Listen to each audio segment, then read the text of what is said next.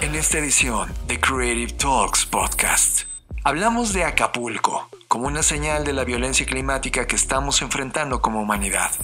Descubrimos el formato SMC, que está conquistando los mercados surcoreanos y que puede convertirse en el próximo formato de entretenimiento.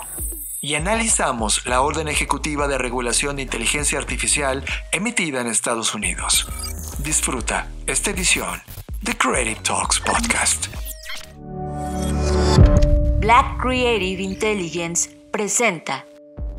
Hola, ¿qué tal? ¿Cómo están? Yo soy Fernanda Rocha y les doy la bienvenida a este subpodcast de cada semana llamado Creative Talks.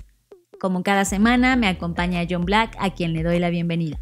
Fer, ¿cómo estás? Buenas tardes, buenas noches, buenos días a la Truman Show. ¿Viste cómo llegué? Oh, and in case I don't see you, good afternoon, good evening, and good night. Saludos tú que estás escuchando este podcast, bienvenidos. Yo soy John Black y vengo llegando de lugares increíbles entre Guatemala, Cali, en muy pocos días, pero haciendo cosas increíbles con la Cámara de Comercio de Cali y también saludos a todo el equipo de Pan American Business School, Sergio Méndez y todo su equipo. Qué placer conocerlos.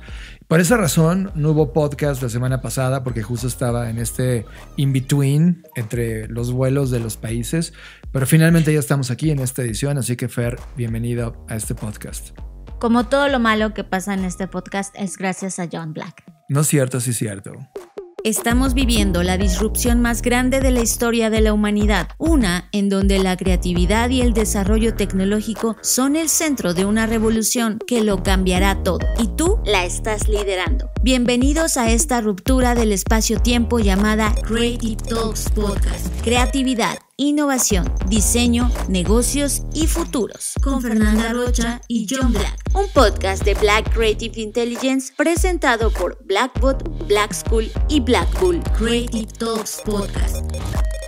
Fer, todas las personas que han estado con nosotros en algún punto físico, ya sea en un salón de clases o en una aula, aula de trabajo, educativo, en una reunión con compañías hablando de estrategia e innovación, uno de los temas que se convierten en un tema ícono y absolutamente importante en la discusión o en el análisis es saber hacia dónde se mueve el planeta en los siguientes 10, 15, 20 años. Y la conclusión, y en este podcast lo hemos recibido y lo hemos analizado todo el tiempo, es que cada vez más los episodios de violencia climática iban a comenzar a ser más sólidos, más fuertes, eh, más dramáticos.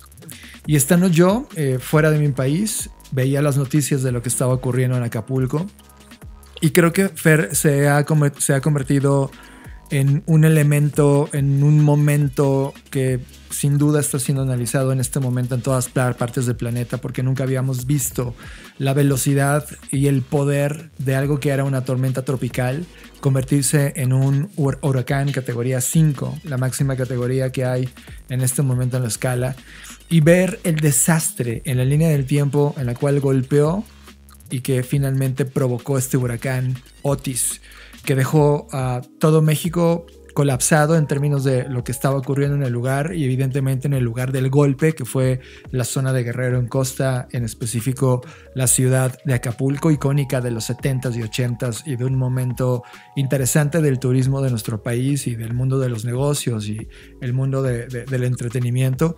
Finalmente, este incidente provocó la alarma del mundo y Fer, esto no es más que todo lo que hemos visto y que este primer episodio que nos tocó a nosotros como país vivirlo, sin duda nos está hablando de este impacto de algo que va a ser el inicio de una serie de fenómenos cada vez más violentos y esta violencia va a ir increciendo y cada vez dejándonos improvistos, Fer, porque tecnológicamente ni siquiera hubo reacción para poder anticipar que esto en tan corto tiempo se iba a convertir en esto. Ok, voy a ir por partes. Primero, pues mis condolencias a todas las personas que pues perdieron a alguien en este evento y evidentemente un llamado a que si está en tus manos y en tus posibilidades puedas ayudar.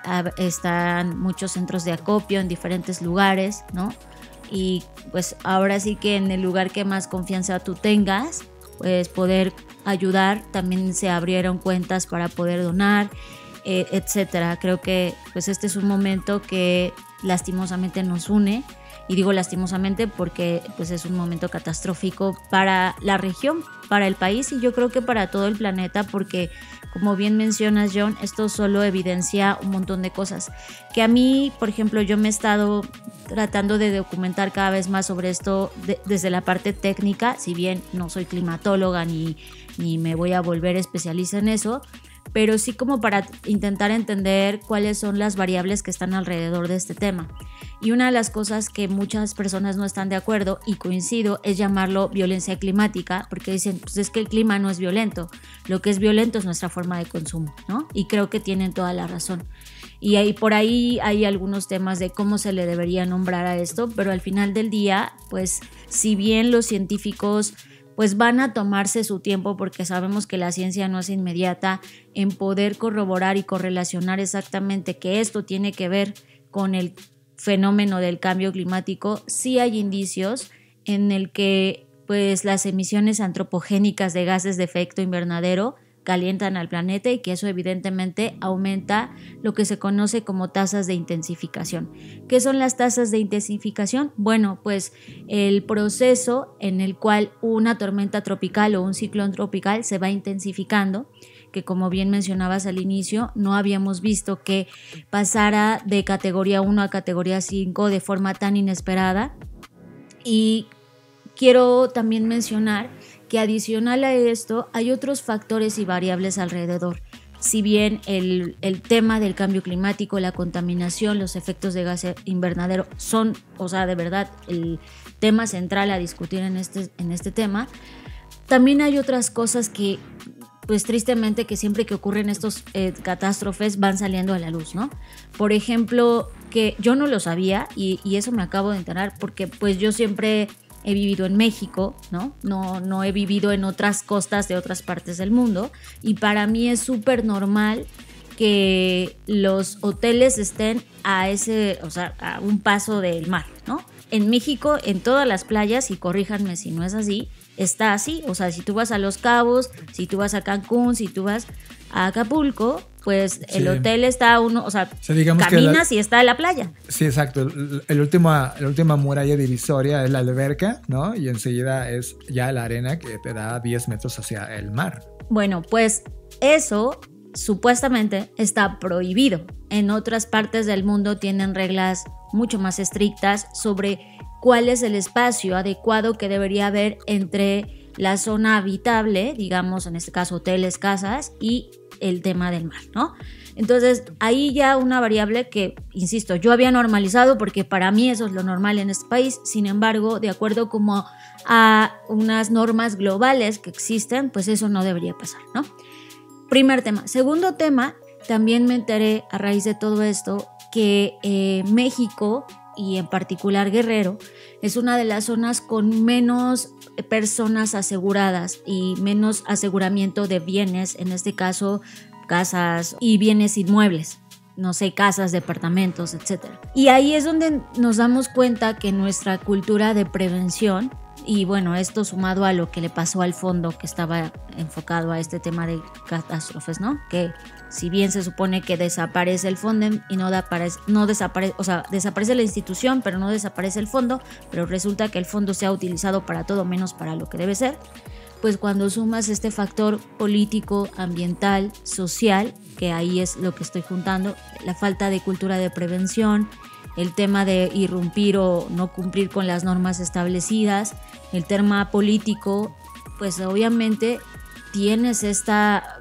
pues caldo de cultivo que al final del día lo más triste de todo es que no afecta ni a las inmobiliarias, no afecta al gobierno como tal, termina afectando a las personas y tristemente a las personas que siempre son las más dañadas, que son las más vulnerables en términos económicos, en términos, ¿no?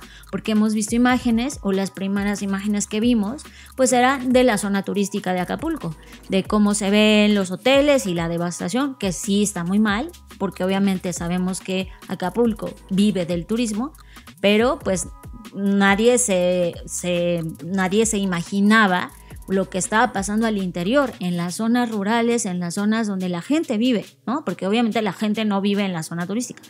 Entonces, eso es lo que a mí más me causa frustración y tristeza, saber que todos estos fenómenos al final terminan agraviando o afectando pues siempre a las personas más vulnerables, que son las que menos, digamos, generan menos desechos, menos contaminación, ¿no? Es esta injusticia climática que hoy se está evidenciando totalmente. Hace unos meses, Fer, hablábamos una pregunta muy dura sobre en qué tipo de casa vives y los materiales con los que estaban construidas tu casa. Y hablábamos justamente de que esos materiales no estaban listos para estos eventos. Y de repente en Acapulco te das cuenta, una de las principales eh, imágenes que traigo en mi cabeza en este momento es ver cómo quedó la arquitectura de todos estos lugares. Y pareciera un set de televisión de desastre. Y no me refiero a que eh, hayas visto el derrumbe del edificio completo, pero era un cascarón que se, que se, se, se borró, ¿sabes? Eso habla de el momento con el cual estamos ahora lidiando y que ya se juntó como tú dijiste, Fer, y donde también tiene que ver los materiales con los que están construidas todas esas cosas. Pareciera que todo era, todo era plafón, que todo era... O sea, no estaban preparados por un huracán eh, categoría 5. Independientemente de que haya sido de la noche, más bien, en dos horas, porque tú te, fuiste, tú te fuiste a dormir. Esa noche en Acapulco se fueron a dormir pensando que era un categoría 1 a tormenta tropical ese día te fuiste a dormir. o sea, tu actividad cultural de reforzamiento no ocurrió. Que ahí hay otro fenómeno, John. Perdón que te interrumpa, pero esto lo tengo que decir.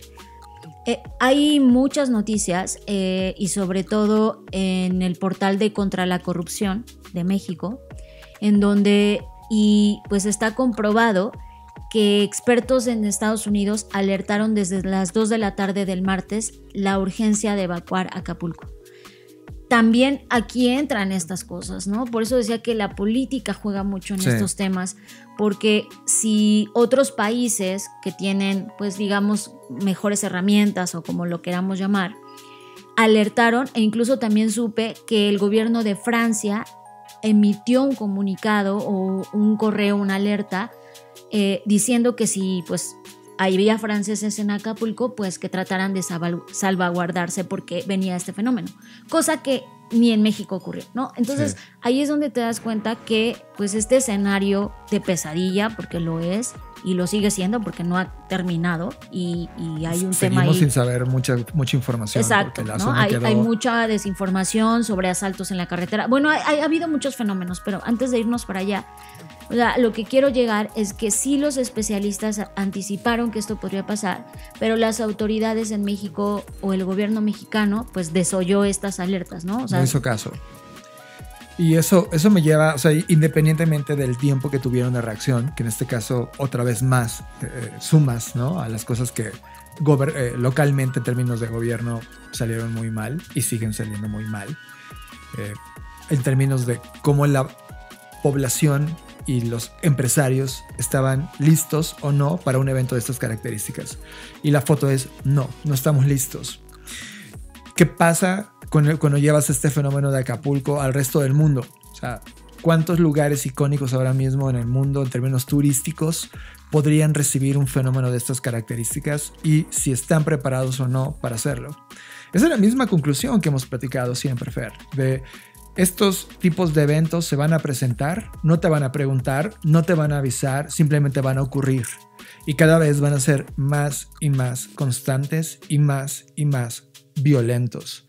Por lo tanto, es muy importante considerar que no estamos preparados y que lo que Acapulco nos está enseñando a México y al resto del mundo es esta conclusión. No estamos preparados. Hay algunos lugares en Estados Unidos, sobre todo en la parte de aseguradoras, que ha venido, ha venido analizando esto que va a ocurrir. Es decir, ellos, ellos venden futuro, ¿sabes? Te están vendiendo situaciones que podrían ocurrir en el futuro. Y al empezar a ver este aumento de los problemas climáticos y la violencia climática, que como tú dices, Fer, no hay una palabra todavía que la defina de manera correcta, porque nosotros somos los que la provocamos. Es una reacción climática en todo caso, ¿no?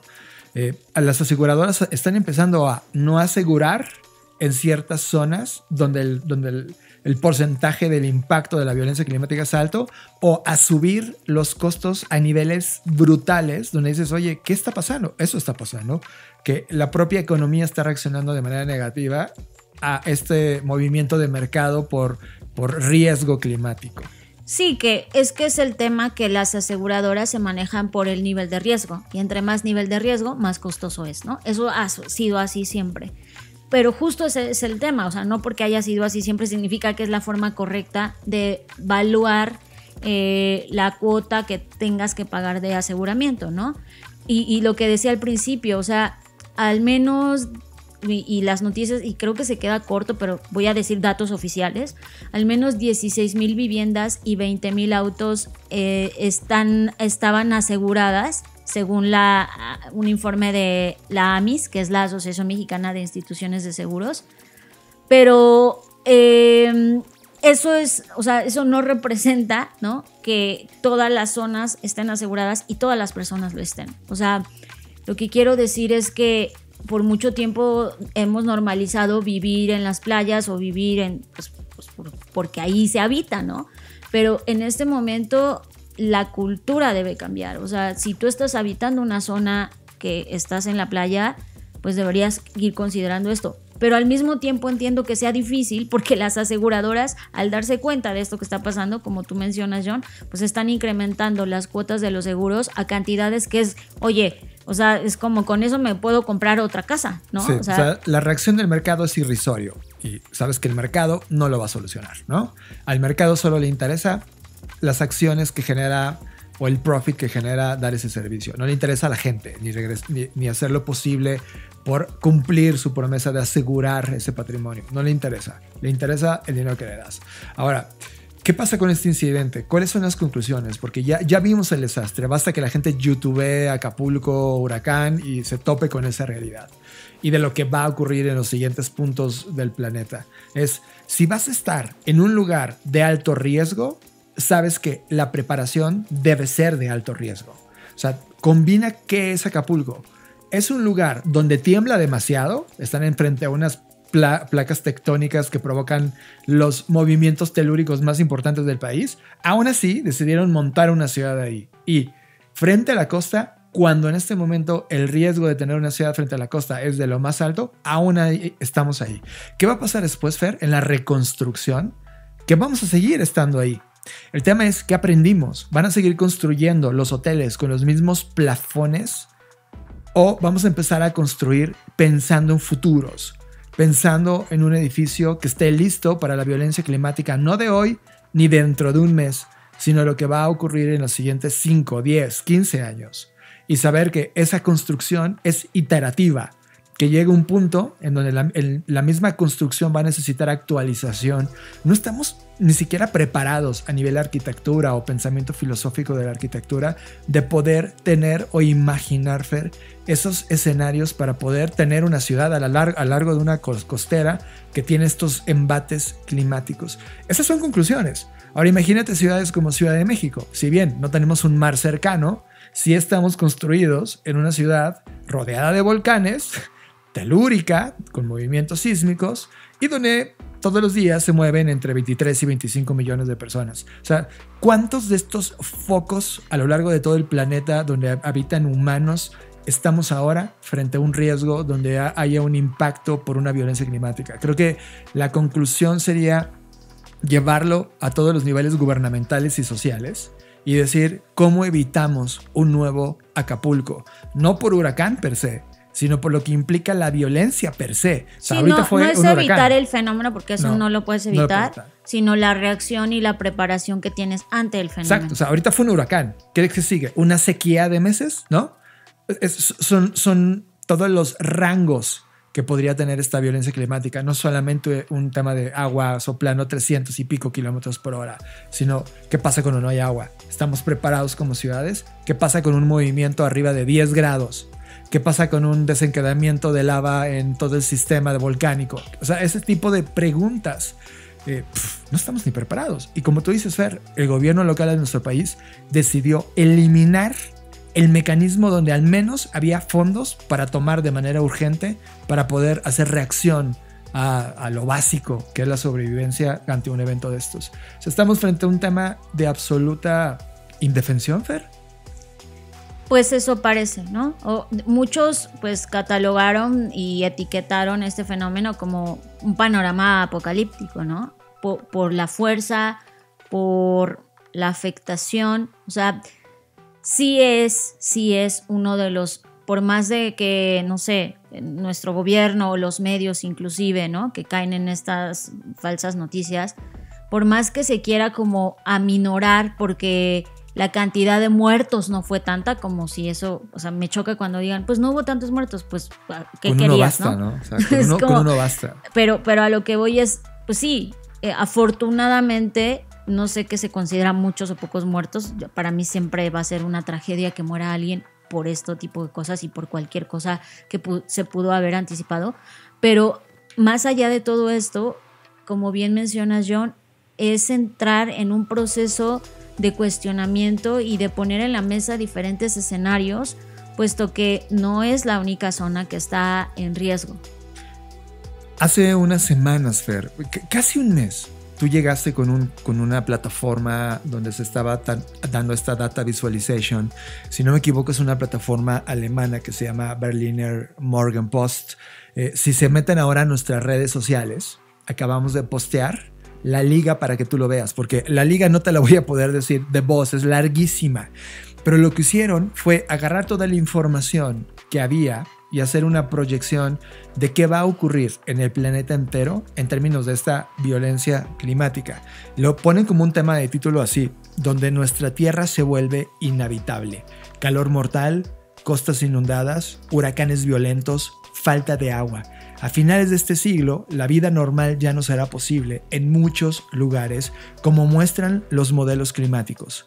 Lo que hace esta plataforma, y es una plataforma muy pesada, o sea, cuando tú abres tu sitio te va a volver lenta la computadora y es la razón por los datos que tiene, pero puedes empezar a ver el planeta Tierra por completo siendo analizado con varios parámetros, que es el impacto hídrico, y como impacto me refiero a la escasez de agua. El segundo es el aumento del nivel del mar, y esto tiene que ver con el descongelamiento de los polos, por lo tanto los niveles del mar crecen. Y los ciclones tropicales, que como lo acabamos de ver con Acapulco, están presentes y pueden ser devastadores.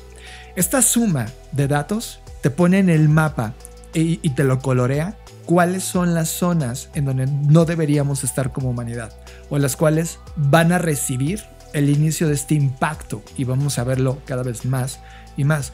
Y cuando ves la zona de México, Fer, cuando pones en América esto, ves todo México prácticamente como una sugerencia de datos diciéndonos científicamente, oigan, no deberíamos estar en México en estas zonas, todas, todas teniendo que ver con las costas.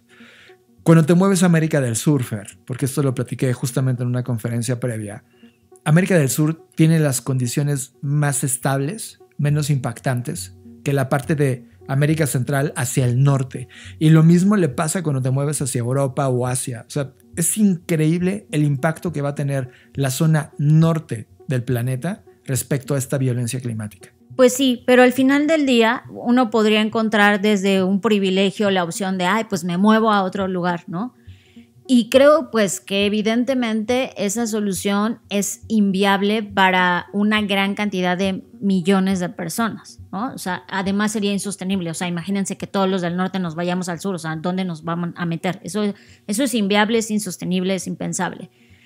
Por lo tanto, ante este tipo de pronósticos, que sí lo son porque están apuntando con base en data eh, cómo podría ser el futuro, pues lo que yo considero que tendremos que hacer, pues más que movernos o trasladarnos o buscar huir de las zonas en las que estamos, justo prepararnos, ¿no? Toda esta cultura que en algún momento se tachaba como de unos grupos de personas locas, catastróficas, apocalípticas, pues hoy más que nunca tendríamos que adoptar esa pues cultura esa cultura de el preparacionismo, ¿no? Que es justo es, estoy en una zona donde no me puedo mover porque no puedo comprar otra casa en otro lugar o por las razones que sea, porque la economía simplemente no da para más.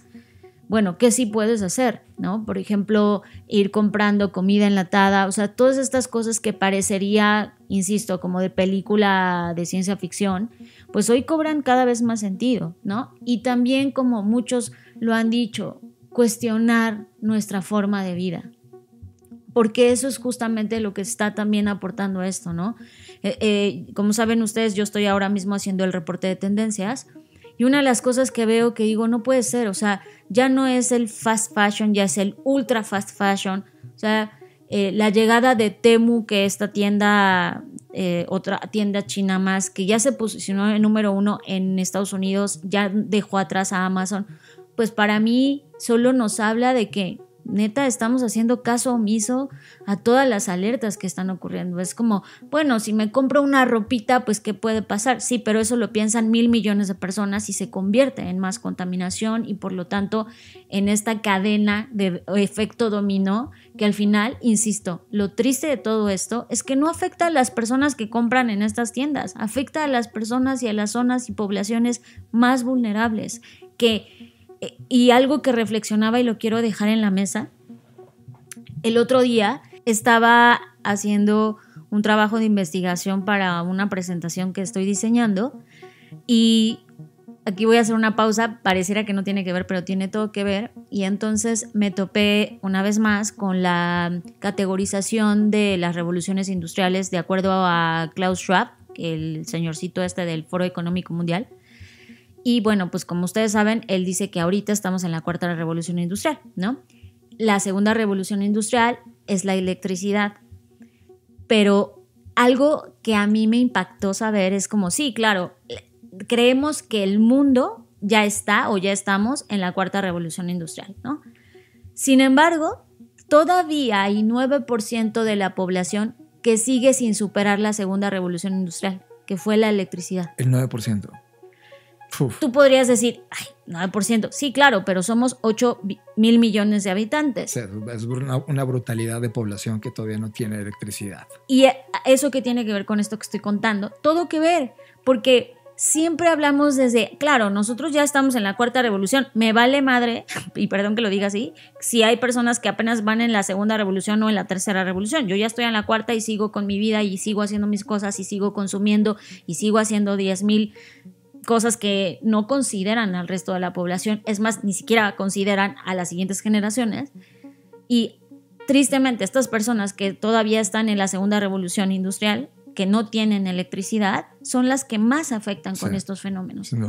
Y eso es lo triste, que seguimos sin desarrollar un pensamiento de catedrático, como ya lo hemos mencionado en otros episodios, que es pensar a futuro, pensar en las siguientes generaciones, pensar en los siguientes 100 años, porque seguimos pues cayendo en esta trampa de pues el presente es lo que tenemos y es todo lo que hay, entonces acabémonos el planeta en este momento, ¿no? Y creo que para mí todo este tema del huracán, yo sé bien que, que como individuos no podemos eh, detener los fenómenos, porque pues eso está fuera de nuestras manos, pero lo que sí deberíamos reflexionar con estas tragedias y que qué triste que tenga que pasar para que lo veamos tan tangible y evidente y que aún así no hagamos caso, es que esto ya no es una señal. O sea, esto no es como, ay, bueno, hay señales de que hay cambio. No, esto ya no es una señal. Esto ya es un, un grito, un llamado de auxilio para que pensemos y repensemos nuestros estilos de vida no es dejar de consumir, porque sabemos que tienes que consumir para poder comer, tienes que consumir para poder vivir, es cómo consumimos, es la forma en la que consumimos lo que tiene que cambiar, porque de otra manera podríamos estar haciendo y comprando mil seguros, pero había, cuando pasó todo este fenómeno también en Miami, que azotó muy fuerte,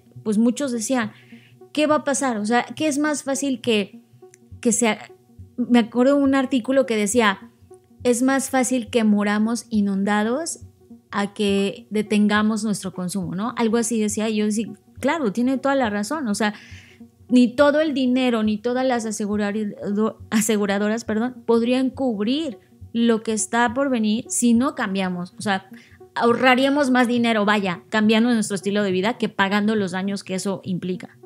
Y lo dijimos aquí, no va a pasar. Ahorita ya no estamos hablando ya de, frenar el cambio climático. Ya, o sea, debemos de comernos esa noticia. No lo vamos a frenar. Como humanidad no lo vamos a frenar. Lo que estamos haciendo ahora es sobreviviendo esos embates que el cambio climático va a traer. Y en esos embates, tu pregunta es personal. cada, cada uno de nosotros en el lugar donde estamos que sí podemos hacer. Como dices, Fer, lo primero es, puede que cambie tu estilo de vida. Sí, trata de elevarlo a un cambio. Trata de hablar de esto con alguien más. O sea, conviértete en un predicador. A veces, a veces yo a mí lo veo como un escenario de qué molesto que de repente en un lugar alguien te esté cuidando de, oye, no, no hagas esto porque, y, no lo ve, ¿no? Es como molesto. Pero si no lo hacemos nosotros, ¿quién? Ah, hasta que lo padezca ese ser humano va a entender, probablemente, y qué triste, ¿no? Tres semanas antes, ver de lo de Acapulco, el secretario de la ONU daba un statement que yo había considerado eh, durísimo, y lo voy a leer tal cual. La humanidad ha abierto las puertas del infierno. Cita directa del secretario general de la ONU, Antonio Guterres, a la hora de hablar sobre lo que está pasando en términos de medio ambiente.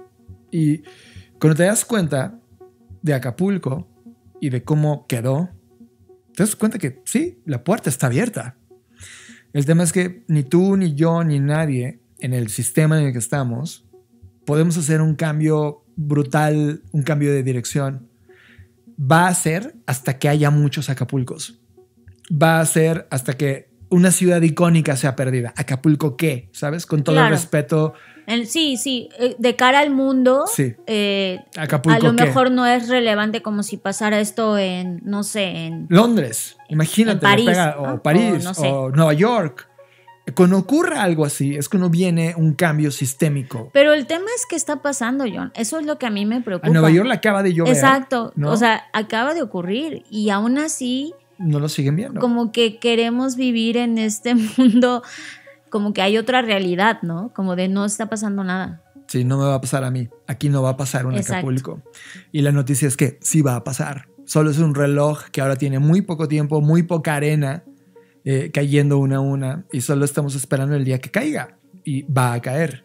Cuando ocurra eso, cuando ocurra muchos Acapulco o ocurra muchos Nueva York, en términos sistémicos, puede que sí cambiamos, pero ya no va a haber solución, solo vamos a tener que sobrevivir en el padecimiento que nos creamos a nosotros mismos.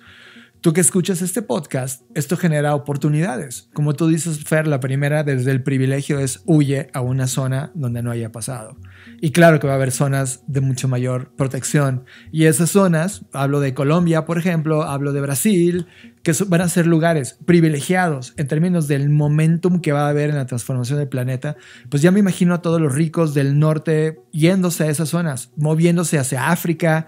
Lo que nos había dicho Luis Armando Jiménez Bravo sobre, sobre cuidado con África, pues tiene que ver con eso, Fer. No porque África lo haga bien, sino porque África va a ser el lugar para moverte, para sobrevivir de estos eventos, ¿no? Pero la gente que se queda, que es la gran mayoría, y como tú lo dices, Fer, los que no tienen opción, ¿qué vamos a hacer con ellos? ¿De qué se va a tratar ese mundo? ¿Va a ser como el mundo de Children of Men, donde solamente va a haber zonas rodeadas de hiperseguridad y el resto a su suerte? Es, es complejo verlo por esa degradación con esto que ha pasado en Acapulco y que estamos tan cerca, o sea, a cuatro horas de ese lugar, Fer, en carretera, o sea, cerquísima en términos geoestacionales, ¿no? Geográficos. o sea, la realidad está tocando la puerta y esa realidad es algo que no podemos eludir ni tú ni yo siendo diseñador o creativo, sino en este momento es cuando las mejores ideas son necesarias.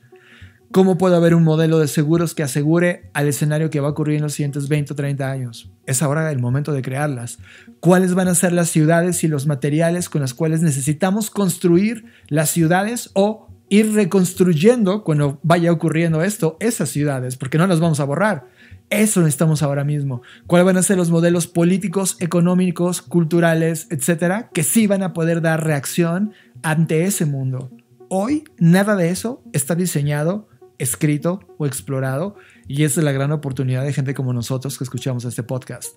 El poder entender que ahí, en ese dar y resolver, hay una oportunidad enorme no solo de sobrevivencia humana, sino también de, generación económica para ti, quien lo resuelva.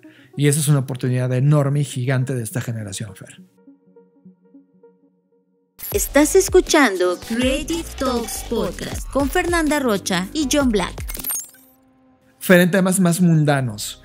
El podcast pasado hablábamos justamente del fenómeno Taylor Swift Y eso provocó muchas reacciones en el mundo, eh, no del podcast mismo, sino del fenómeno Taylor Swift. A tal punto que en este momento, y por eso lo traigo, las discográficas se unieron porque los principales sellos dijeron, a ver, esto del fenómeno Taylor Swift ya está enorme y recuerden, para los que no escucharon el podcast anterior, una de las cosas geniales que hizo Taylor Swift ante el problema de su disquera es volver a reescribir y regrabar éxitos de ella, porque eran propiedad de la disquera, y ahora ella, al convertirlo de nuevo, al reescribirlo, volvían a ser un tema de propiedad intelectual de ella, lo cual fue un movimiento increíble.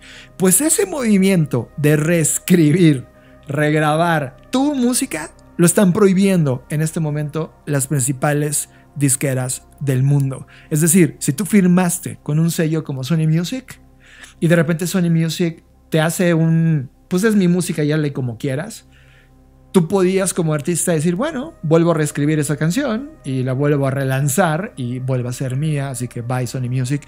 Pero ahora están haciendo que todos los artistas que han grabado y firmado Fer entren en esta nueva actualización de contrato para evitar la cláusula Taylor Swift. Es decir, no puedas grabar, reescribir porque es propiedad de la disquera. Lo cual me parece uno de los movimientos más arcaicos me, siento como en Napster cuando a finales de los 90 la música entraba en estas discusiones sobre qué iba a ser ahora la propiedad intelectual. Pues ahora está pasando con eso y ahora está eh, eh, limitando a los artistas que están firmando o ya firmaron con esas disqueras, aplicándoles la cláusula Taylor Swift de no propiedad, aunque le cambies una coma o una estrofa o lo que sea a ese, no te la van a hacer legal.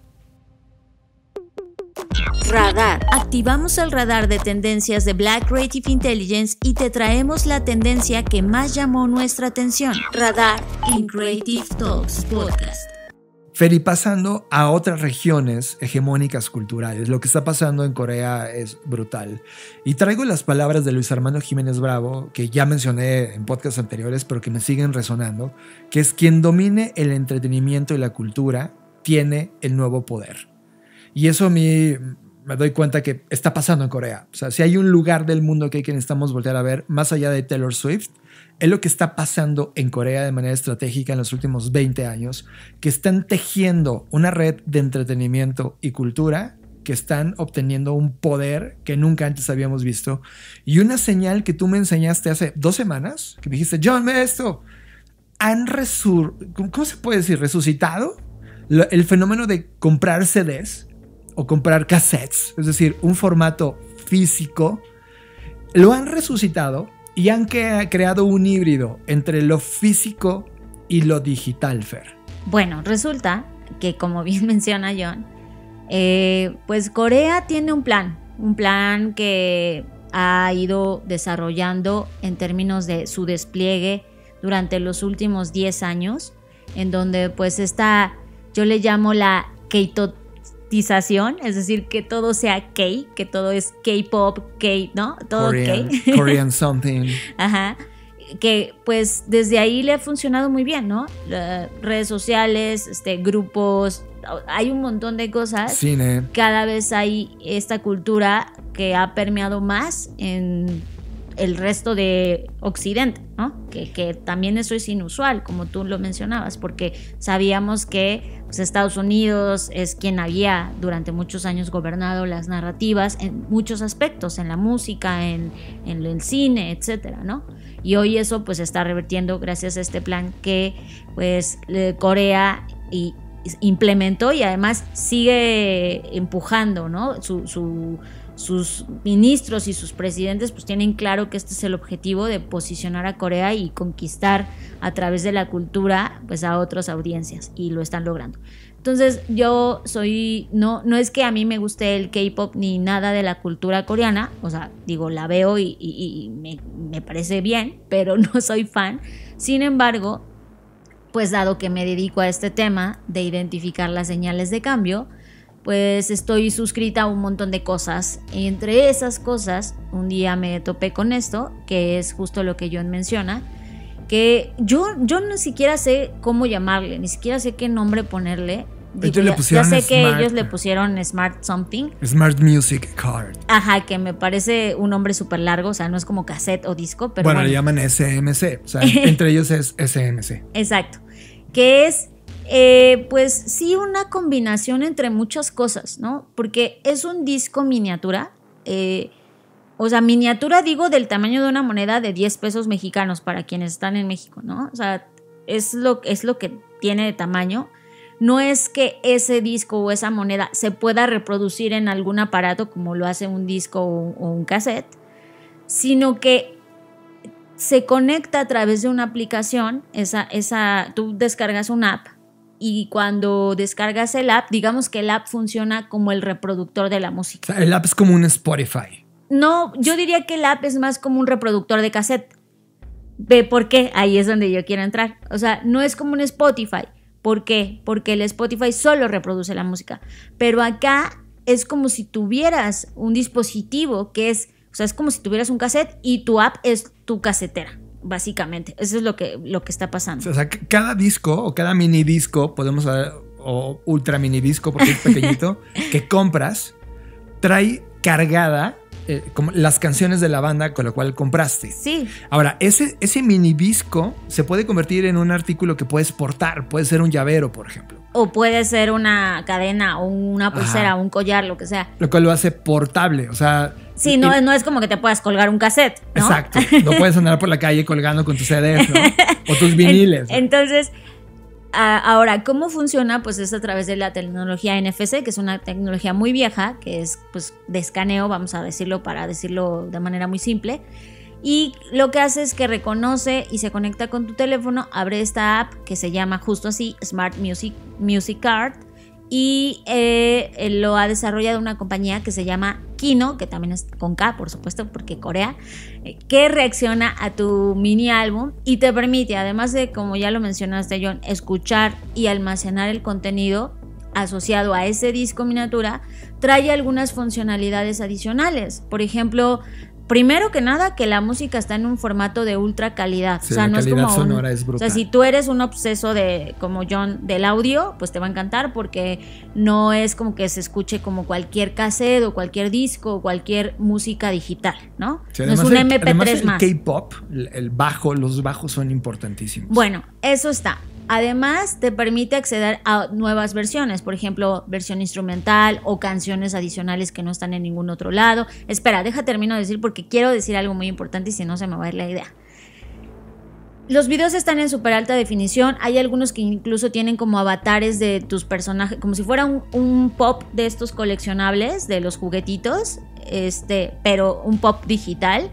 Y además trae fotos en alta definición y trae un montón. Pero quiero decir por qué esto es importante y por qué nos parece una señal digna de salir en este episodio.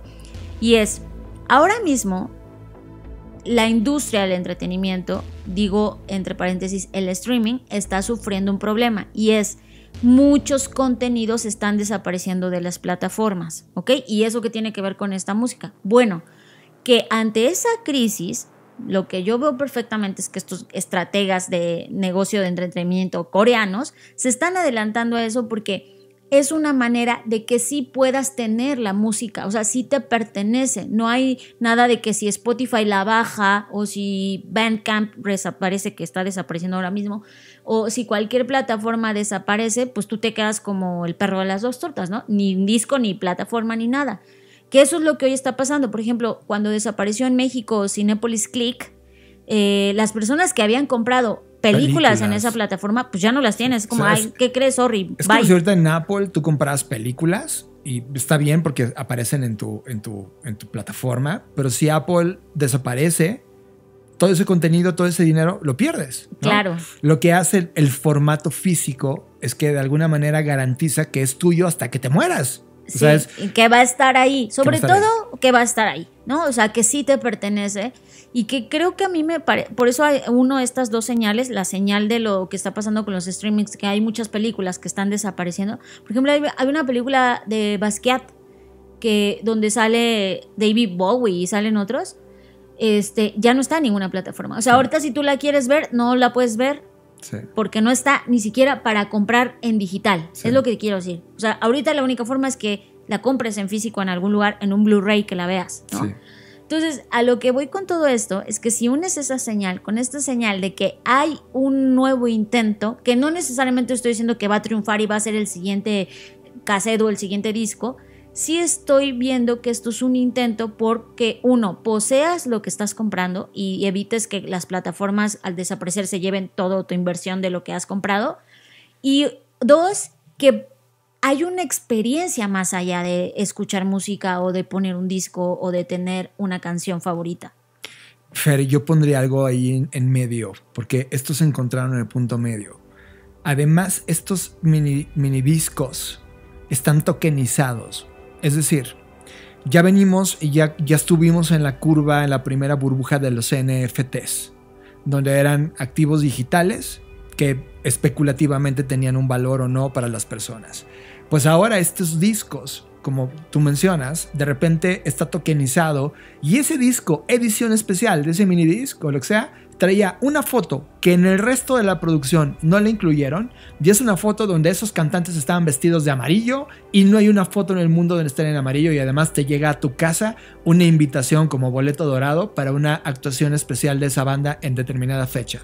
Esa manera de tokenizar un activo digital pero convertirlo con valor en el mundo real no había pasado antes. Y en este formato sí está ocurriendo. O sea, yo sí creo, y perdón por lo que voy a decir, este es el nuevo cassette. O sea, yo sí veo gente coleccionando estas cosas. Es no, yo no, porque es la primera ola. Yo sé que tú eres un entusiasta de esto y siempre que ves algo dices, este es el siguiente. Yo no creo, yo no, yo no creo que sea el siguiente nada, pero sí creo que es un gran intento por converger un montón de formatos que están ahora mismo separados. O sea, ho- hoy mismo tú tienes que comprar, por ejemplo, si esto lo trasladamos a lo que hoy existe, tú tienes que comprar un disco, tienes que comprar el librito que trae las fotos, que eso es aparte, ¿no? O sea, es decir, tú tienes que comprar el libro edición especial de las fotos del concierto tal, es un libro que te lo venden aparte. Eh, si tú quieres ir al concierto, pues es un ticket aparte. Es decir, todo eso está hoy segregado. Pero lo que está haciendo esta cosita, este disco miniatura, es que está intentando sintetizar o agrupar en un solo lugar todas estas versiones de- que giran alrededor de la industria del entretenimiento, en este caso musical. Entonces, yo me imagino esto aplicado justo ahorita, uniendo con el streaming. Imagínate esto con las películas, que tú compres este mini disc en donde, pues, en lugar de reproducir música, sea la película con la, el, la- el corte del director o la entrevista tal, y que además te sirva para que vayas al cine a verlo en una sala de cine, ¿no? O sea, es decir, es un formato que sí parece que puede, podría tener futuro. No creo que lo tenga porque siempre lo que pasa con estos nuevos formatos es que la adopción juega en contra, pero sí creo que es un gran intento, que es una señal que nos indica que sí hay algo que está cambiando en términos de la propiedad, ¿no? De, de, pues es que quiero tenerlo, quiero sentirlo, quiero que esto sea algo más que reproducir música. Este es el punto medio entre todos los activos digitales Sí. de los últimos 30 años. E-, Esa maduración ya llegó al tope, pero esa maduración está reencontrando lo que dejamos y este es un punto central, es un punto que une lo digital con lo análogo. Además que es, eh, o sea, obviamente, ¿no? Si, si lo comparamos con otras cosas, pero es asequible, o sea, no, no es que esto te cueste 10 mil pesos, ¿no? Cuesta O sea, 20 cuesta euros. 20 euros, que son 17 dólares, no sé, 400 pesos mexicanos, 300 y cacho, ajá. ah, más o menos, que, que se me hace asequible, a diferencia de nuevos formatos que luego salen eh, y que, que cuestan 800 pesos, 1000 pesos, que dices, no voy a pagar eso. Ahora ve la señal de dónde ocurre esto, porque esto es una señal. La señal no viene del mundo de la música. El mundo de la música sigue pe- peleándose con la Taylor Swift, ¿ok? Esto viene de una compañía que se llama SM Entertainment, que no es una disquera per se. O sea, entertainment tiene que ver con algo más allá no, de es una un disquera. imperio, es, un, imperio. surcoreano del entretenimiento. Exacto. Y, y lo mismo maneja un artista de K-pop, como Red Velvet, que todos los que saben de K-pop es como el Backstreet Boys de, en mujeres, ¿no? De, de eso es increíble el- todo lo que están haciendo, pero manejan lo mismo conciertos que música, o sea, manejan no solamente el grabar al artista, sino todo lo que hay alrededor del artista. Presentaciones, libros, eventos, colaboraciones, reuniones con marcas, etcétera. Todo lo hace. Es decir, sí hay un, un ecosistema por completo más allá de la música que hoy las disqueras, la verdad, no hacen y lo dejaron de hacer los últimos 30 años y llega una compañía como esta a decirle, mira, yo no me dedico a la música, yo me dedico a la cultura. Y de repente encapsula toda esa experiencia en un formato y un formato donde ahora en ese mercado, nada más en ese mercado, hay 80 millones de dólares anuales en compras de estos dispositivos. O sea, sí es algo para empezar a notar. O sea, yo sí creo que esto llevado a América, estamos llevando una tendencia coreana, pero ¿qué pasa si te lo llevas al mundo occidental? Eh, se puede convertir en the, next big thing. O sea, yo sí me veo colgando el disco de Gorillaz Fair en un arete que me hicieron edición especial con, donde está el, archivo de este formato y diciendo que soy el único o 100 personas que tuvieron ese arete edición o especial. Más que arete, yo, yo por ejemplo los pines, me gustan mucho los pines, o sea, sí me imagino como... Un pin específico, exacto. E, eso, ¿cómo traduces material tangiblemente algo que convive con lo digital? Pues esta propuesta de mini álbums o SMC o Smart Music Cards está comenzando a decir, yo quiero participar y mostrándonos una hipótesis de cómo se ven esos ecosistemas conectados.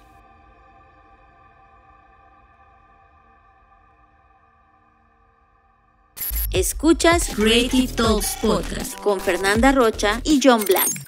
John, y por más que nos resistimos a hablar de inteligencia artificial porque no queremos caer en el hype de, ay, la siguiente gran, este... Que yo caigo en eso. Me da culpa. Bueno, que siempre tratamos, es decir, siempre que hablamos de inteligencia artificial tratamos de ser lo más pragmáticos y entender todo lo que hay alrededor y no dejarnos solamente arrastrar por la ola de miren esta nueva herramienta que hace que tu carita se vea como de Pixar, ¿no? Pero pues hay que volver porque es lo que está pasando en el mundo y una de las cosas que pasó recientemente es que Biden, el presidente de Estados Unidos, firmó una orden ejecutiva para impulsar la inteligencia artificial y volverla, según esto, más segura. ¿Y por qué digo según esto? Pues porque mm, si bien la intención que esto tiene es buena, es decir, es ponerle un freno a lo que está pasando con la inteligencia artificial, a que las versiones y todo lo que gira alrededor de esto estén mucho más controladas, eh, pues mm, hay dos formas de leer esto, ¿no? Por un lado, celebrarlo y decir, Claro que bueno que hay países como Estados Unidos pongan el ejemplo y hagan este tipo de cosas, pero por el otro lado también sabemos que Estados Unidos no da, como decimos en México, paso sin guarache, entonces también están haciendo esto por el momento contextual que estamos viviendo, que parece una siguiente guerra fría, ¿no? En donde Sabemos que la inteligencia artificial ha tenido bastantes usos ahora en el conflicto tanto de Ucrania como en el que desafortunadamente se ha desatado en Israel. Entonces, eh, pues esto es más un tema, pues, de, defensa, ¿no? De que, corresponde a la estrategia militar y de defensa que una intención de ayudar a las personas a usar mejor la inteligencia artificial. No, y, lo hemos dicho acá, habíamos hablado de esta reunión de mandatarios donde acordaron en, en Europa ver a la IA con la misma eh, análisis de intensidad como se analizaban las bombas atómicas en su momento. Es decir, era una herramienta tecnológica de guerra y por lo tanto necesitaban protocolos que la regularan. Eso fue hace tres, cuatro meses. Y también tenemos que decirlo, Fer, nosotros lo hemos dicho desde hace siempre, de el ciclo que estamos viviendo del momento post-COVID, este momento donde hace 100 años ocurrió exactamente lo mismo, hubo un bicho con una potencia cercana, pero no en magnitud, porque hoy somos más humanos, eh, más seres humanos más conectados. y más globalizados, ¿no? Pero el periodo posterior al momento de COVID fue de los, locos 20, donde es lo que estamos viviendo hoy, es la, gente desenfadada en la calle, gastando, comprando como locos, viajando a todo lugar, como suponiendo que nunca ocurrió el bicho y por lo tanto ahí está hambre de hacerlo, y que inmediatamente después de que cerró ese ciclo de Roaring Twenties vino una guerra mundial. Y que todos los patrones de política, economía, sociedad, cultura que habíamos visto hace 100 años estaban sucediendo idénticos en este momento. Por lo tanto, estamos entrando en un contexto preparativo de guerra. Y esto que estamos viendo ahora, estos conflictos en Ucrania y los conflictos en la franja de Gaza, son la parte eh, inicial de esta conversación, de esta narrativa que nos va a llevar definitivamente, eh, de acuerdo a la historia humana, a una guerra. Y por lo tanto, la IA necesita ser controlada por un dato que te voy a poner en la mesa, Fer. En Estados Unidos es el mercado más grande de desarrollo a nivel programación, intelectual, diseño o tecnología de IA, pero solo de todo ese potencial que ha llegado a Estados Unidos, solo el 20% de los que están metidos en esa industria se formaron en Estados Unidos. Es decir, el 80% restante vino de otro lugar del mundo. Eso significa que el país llamado Estados Unidos, en la herramienta tecnológica más potente de este momento, no es propietaria en términos intelectuales de esa herramienta y hay otros lugares donde son mucho más avanzados, pero tienen que importarlos de esos lugares para poder hacerlo. ¿Qué le interesa a Estados Unidos? Que el talento intelectual, que la propiedad intelectual de esa tecnología sea norteamericana, porque no está siendo hoy norteamericana, y mucho de este movimiento es justamente preparar para que esas personas o ese esa base instalada de generadores creativos humanos creando inteligencia artificial sean norteamericanos por un tema de proteccionismo nacional. That's it.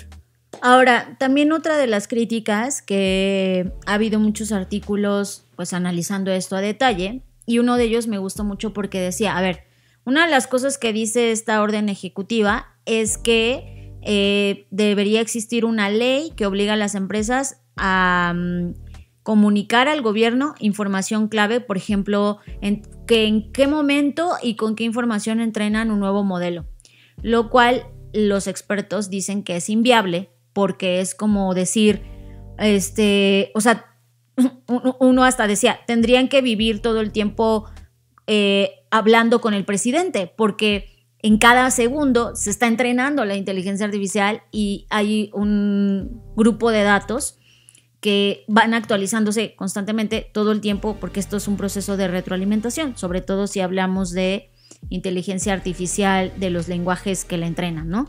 Entonces, justo decían que, que lo que se está evidenciando eh, con esto es que Estados Unidos, en este caso el presidente, quienes está llamando a esta orden ejecutiva, no tienen idea de cómo funciona. Es como si ahorita te dijeran, no sé, cualquier cosa absurda que tu jefe te pida, que tú dices, güey, no tienes ni idea de cómo se hace esto. Exacto. pues eso es lo que hoy está pasando. Hay un rumor, Fer, que dice que el, eso lo dejo a nivel de gossip, o sea, gossip technology, que es una nueva categoría de entretenimiento ahora. En el gossip technology o en el gossip politic, ¿no? Dice que Biden vio la, la película de Misión Imposible, la última, yo no la he visto, y que una vez que terminó de ver la película, dijo, tenemos que reunirnos y comenzó el proyecto de lo que hoy está dando. O sea que... Ay, no. o sea, ¿sí me entiendes lo que estoy diciendo? lo quiero creer y no, ¿sabes? Es como, o sea, es muy, muy plausible, pero a la vez que, qué horror. Pero bueno, estas son las personas que nos gobiernan. ¿no? Exacto. El punto es que, eh, pues cada una de las cosas que acá, que dice la divulgación de los resultados, eh, como muchos puntos que, que toca esta orden ejecutiva, pues que, pues que no, o sea, que, no, no se pueden realmente, son inviables. Y creo que más allá de todo, como lo dicen algunos especialistas, pues sí, tiene que ver con, con la ignorancia y el desconocimiento de estos temas. O sea, están pidiendo cosas que ni ellos saben cómo se pueden llevar a cabo, que fue lo mismo que se evidenció cuando llevaron a Mark Zuckerberg a juicio, preguntarle, O bueno, no a juicio, pero a preguntarle cosas. Que sé cómo, funcionaba Facebook, ¿no? sí, o sea, vendo publicidad. Ajá. O sea, como, y una persona puede abrir su perfil, o sea, me acuerdo que le hicieron preguntas de, güey, neta, o sea, y es, imagínate, era una red social que en términos prácticos puede ser más fácil de entender que la inteligencia artificial. De acuerdo. Ahora, a mí, eh, ¿qué, me da a entender esto? Pues ya les dije, ¿no? Dos cosas. Por un lado es como, claro, pues no, no es como que, o sea, Estados Unidos sabemos qué clase de país es y los valores que lo mueven, ¿no? Evidentemente esto es para ganar territorio en términos digitales, en términos de no puede ser que China y otros países me estén ganando. Y la otra es que también tiene que ver con eh, que la propiedad, pero no solo la propiedad intelectual, como tú lo mencionabas, John, que sí, sino que la capacidad, o sea, esto es como una nueva guerra en términos de cuántos soldados tengo entrenados en esto. Es, el punto que quería decir. O sea, hoy los soldados están viniendo de otro lugar, pero no están entrenados por mi academia. Exacto. Y necesito entrenar al, con mi academia y mi filosofía de país. Cuando tú analizas cada uno de los temas de esto, Fer, todo es guerra. O sea, lo que quiere es un proteccionismo de datos. Quiere ver todos los datos, está poniéndole reglas para regular lo que en términos de impacto de seguridad nacional tiene. Inclusive está utilizando la ley de protección de defensa o DPA. Todo es defensa, todo es pentágono, todo es guerra, ¿sabes? O sea, por eso te decía que para mí es, si lo analizas, esta es una bomba, si lo analizas en esa analogía, hemos inventado la bomba atómica, o sea, estamos en ese momento. La regulas, te la apropias, pero quieres decirle al mundo que eres el más chingón, el que tiene la bomba más cabrona. Llévalo a la IA. Inventamos esa tecnología, no está ocurriendo en mi casa, quiero que ocurra en mi casa. Pongo esto para regularla porque quiero que ocurra lo más cabrón de IA en este lugar para poder poner las condiciones del nuevo orden mundial tecnológico. Es esa, es esta orden, eso es claramente lo que está diciéndole al mundo. Estoy preparándome en términos tácticos y estratégicos para la guerra que viene. Y la guerra que viene probablemente no soltemos bombas. Va a ser un tema de dominio de información. Y eso es lo que está preparando Biden en, esto, en este primer salto que dio, que no es el primero. Ya había hecho algunos, algunas regulaciones Trump en su momento y lo que pasó con las condiciones de Trump es que nunca se cumplieron porque justamente no había departamentos, no había entendimiento de cómo se administraba. Necesitamos FER, así como existe un FBI o una, una nueva agencia de inteligencia de la inteligencia artificial, ¿sabes? Un nuevo organismo gubernamental para poder entrar a esto. Y eso es algo que van a tener que aprender ellos. Pero básicamente la foto, Fer, es una foto de preparación de guerra. Ahora, esto es lo que está pasando en la parte macro, ¿no? Que ya involucra intereses entre países, la guerra, o... Y no estoy hablando de la guerra de bombas, estoy hablando de la guerra por la información, la guerra por tener el poder de manipulación de los datos, etc. En el mundo de los mortales, mientras tanto, mientras esto está pasando allá arriba en las élites de los países y los presidentes peleándose por lo que siempre se han peleado, que es tener el poder y más control y más data y más todo.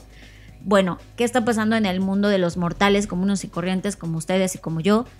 Pues lo que pasa es que al mismo tiempo se popularizó un estudio que se hizo gracias a la colaboración de dos instituciones. Por un lado, Harvard Business School, que sabemos que, pues, que es la Universidad de Harvard, y por otro lado, la consultora de Boston, BCG, hicieron un estudio y publicaron un paper. Cosa que estoy segura que todo el mundo vio la gráfica, pero nadie leyó el paper. Pues perdón, yo soy esa persona que me senté a leer el paper, porque además de todo esto, leer de manera superficial en internet nos está atrofiando el cerebro. Si usted es de esas personas que solo lee los encabezados y lee de manera superficial y solo escrolea la información, pues seguramente forma parte de esta población que ya se le descompuso la cabeza. Pero bueno, eso podría ser tema de otro podcast. Lo que quiero decir es que yo me descargué el paper y lo leí con calma, a detalle, y me di cuenta que, claro, el titular que se puso eh, en boca de todos o en todas las pantallas fue que la IA, que el usar IA te volvía una persona más productiva, que hacía el trabajo 25% más rápido y un 40% mejor, ¿no? Versus las personas que no usan IA. Entonces eso nos dejaba a todos los que estamos críticamente cuestionando la IA como unos tontos de, ah, ustedes no usan IA, entonces no son tan listos, ¿no? Y yo dije, a ver, ¿de qué se trata este estudio? Primero, la verdad, yo desconfié, porque bueno, yo ya soy un mal pensante, no un mal pensado, un mal pensante. Yo ya digo, a ver, ¿esto qué? ¿De dónde viene? ¿Dónde? Me acuerdo que la frase que decían en How I Meet Your Mother, ¿dónde está la mierda, no? ¿Dónde está los shitty ¿Dónde de esto? está la mierda? Sí. Entonces yo ya cualquier cosa me pregunto, ¿dónde está la mierda? Y cuando veo esto digo, ay, claro, a ver, ¿qué va a decir Boston Consulting Group? O sea, como ellos quieren ellos vender más. quieren vender más y están vendiendo ahora su nuevo servicio de inteligencia artificial, Claro, por supuesto. claro, claro. Pero luego ya me metí a detalle y dándoles el beneficio de la duda, porque de eso se trata el pragmatismo, de no caer en tus eh, creencias eh, y tus eh, sesgos propios, sino estar abierto a todas las perspectivas. Dije, a ver, lo voy a leer a detalle. Y entre muchos otros hallazgos, eh, más allá de lo que decía de que trabajabas más rápido y mejor, pues primero ahí viene una pregunta. ¿Para qué trabajar más rápido? ¿Y para qué trabajar mejor? ¿No? ¿Para quién? Y de ahí ya dije, a ver, otras cosas que trae el estudio, y para no hacerles esto más largo, también decía que las respuestas efectivamente incrementó la productividad y la, eficiencia, pero que también analizaron que las respuestas que daban estos consultores, que fueron más de 700, 754 personas de Boston eh, Consulting Group que estuvieron dispuestas a hacer el estudio, y lo que hicieron fue, a ver, a esas 700 y tantas personas dividieron en grupos, a un grupo le dieron inteligencia artificial, ¿cuál? ChatGPT, que es la que cualquier persona podría tener, a otros no, y a otros les enseñaron, como los entrenaron para que pudieran usarla, ¿no? Unos ya sabían, los que no sabían y los que no la usaron. Y ahí ya se dieron los resultados de que quien la usó pues tuvo mejores, eh, ya les dije, ¿no? 25% más rápido y un 40% mejor. Pero los que usaron IA, y el estudio lo dice, que eso obviamente no salió en los titulares, es que las respuestas eran muy homogéneas, por no decir que eran casi iguales, ¿no? O es como, sí trabajamos más, pero todos nosotros dimos la misma respuesta. Pues claro, ¿por qué? Porque le habíamos hecho la misma pregunta a la inteligencia artificial. Y ahí es donde pone este estudio dos conceptos que no son nuevos, no es que ellos los propongan, estos dos conceptos ya se venían trabajando desde los 70s, que son los humanos centauros o convertirse en cyborgs. Y ellos decían que el tipo o el perfil de humano centauro es aquel que pone eh, como que tiene muy clara la relación entre máquina y humano, sabe hasta dónde llega el humano y sabe hasta dónde llega la máquina, y que el perfil cyborg se entrelaza, o sea, que el perfil cyborg hace que el humano sea mejor al mismo tiempo que hace que la máquina sea mejor, ¿no? La diferencia únicamente es la perspectiva. ¿Y por qué estoy mencionando esto? Porque se dieron cuenta que las personas que habían logrado tener mejores resultados es porque tomaron cualquiera de estas dos posturas. Es decir, si ya sea que seas una perspectiva cyborg o una perspectiva centauro, eh, eso te permite trabajar con la inteligencia artificial para producir resultados más variados, diferentes, correctos y mejores resultados que los que tendría la inteligencia artificial por sí sola o el humano por sí solo. ¿Ok? Hasta ahí dices, vale, me queda claro. Pero aquí es donde viene el riesgo y es lo que yo les quiero comentar. Y por eso mi pregunta de más rápido para quién y más rápido por qué. Si tú trabajas 25% más rápido, esto significa lo siguiente. Imagínate que al día, no estoy diciendo que es así, seguro haces mil, mil tareas más, pero imagínense nada más para poner datos. Tú al día en tu trabajo haces 10 tareas, ¿no? Ok, al día 10 tareas, check. Esto significa que al día ahora tu jefe te va a decir, bueno, antes hacías 10 tareas, pero como ahora tienes inteligencia artificial, tienes que hacer 12.5 tareas. ¿Estás de acuerdo? en lugar de decirte, oye, eh, ahora me puedes entregar esto más rápido, entonces las dos horas del día que te sobran, pues tómatelas, tómatelas, porque trabajaste muy bien. Obvio los jefes no te van a decir eso. Obvio ahora los jefes al ver que te sobra tiempo porque lo cumpliste en menos tiempo, te van a decir, ah, pues ese tiempo se va a rellenar, adivina de qué, de más trabajo, ¿no? Entonces lo que yo porque estoy... siempre puedes dar ese algo más. porque siempre puedes dar tu vida en el trabajo. Entonces lo que yo estoy viendo y a mí lo que me preocupa y lo que quiero compartir con ustedes es este tema. Por un lado, en los grandes élites estamos viendo que la inteligencia artificial no se está viendo más que como un arma. O sea, no están diciendo, ay, claro, con esto vamos a, aumentar la investigación médica, científica. No, nadie está hablando de eso. Al menos en esta cosa que Biden firmó, no habla de eso. Arma, punto. Arma. Y en el mundo de los mortales, esto no se está viendo como algo de, ay, puedes hacer un improve o un mejoramiento de tu carrera profesional o esto te puede dar tiempo para que vivas más la vida. No, es se está viendo como una herramienta de hiperproductivización de los humanos. Y esto lo quiero subrayar con letras rojas. Yo estoy convencida, como lo dije en mi charla TEDx, que quienes no lo han visto, les invito cordialmente a que la vean. En esa charla TEDx yo estoy convencida, y lo digo ahora, que lo que más nos puede dar la inteligencia artificial no es inteligencia, sino tiempo. Por esto mismo, porque yo ya lo veía venir, es como, claro, la inteligencia artificial te va a permitir hacer en menos tiempo lo que hacías en más tiempo. Pero lo que yo no contaba, por supuesto, es, y pequeña ingenua, con la malicia y los intereses de las empresas, en donde, no, mijita, ¿cómo crees? Ese tiempo que te sobra te lo voy a retacar de más trabajo. Y si antes podías hacer 10 tareas, ahora quiero que hagas 12.5. Y como en el estudio de fulanito salió que sí se puede dar siempre más, pues ahora quiero que hagas 20 tareas. Es el nuevo estándar de lo que se espera de ti. En lugar de pensar que ese tiempo podría aplicarse para reducir la semana laboral y ahora sí tener la semana de cuatro días o de tres días. Pero no, en lugar de pensar eso y de hacer procesos de upskilling, de reskilling y decir, ah, mira, te sobraron dos horas en tu trabajo, te vamos a, invitar, si tú quieres, a que participes en este proceso de reskilling donde te vamos a dar nuevas habilidades. No, no, no, no. O simplemente que tengas más tiempo de ocio. Eso impensable. Impensable para las Evidentemente al gobierno Fer esto le encanta porque es como, ah, trabajas más, más dinero de vuelta a No, al gobierno, a las empresas y a todos les encanta esto. Sí. Pero, a ver, ¿por qué lo estoy comentando? Porque no nos estamos dando cuenta que estamos programando nuestro propio, nuestra propia... Eh, o sea, es como, como que si amaras al güey que te va a hacer esclavo, es lo que quiero decir. Entonces, ¿por qué esto es peligroso? ¿Por qué esto es problemático? No es problemático que el chat GPT, en este caso, que es el protagonista del estudio, nos haga más rápidos. Qué bueno, qué bueno que nos hace más rápidos. Y que si nos hace más eficientes, qué bueno. Y que si las preguntas se parecen, bueno, pues ya encontraremos formas de hacer que se vuelva menos homogénea o iguales en su conjunto las respuestas que nos da ChatGPT. Lo realmente preocupante es que ahora se te va a exigir que hagas más y que si no das ese más, pues eres solamente un foco que se funde en una cadena de producción en donde eres reemplazable, porque si no lo haces tú, alguien más lo va a hacer por ti. Y si no lo hace alguien, pues un algoritmo lo va a hacer. Que eso es lo que a mí realmente me preocupa.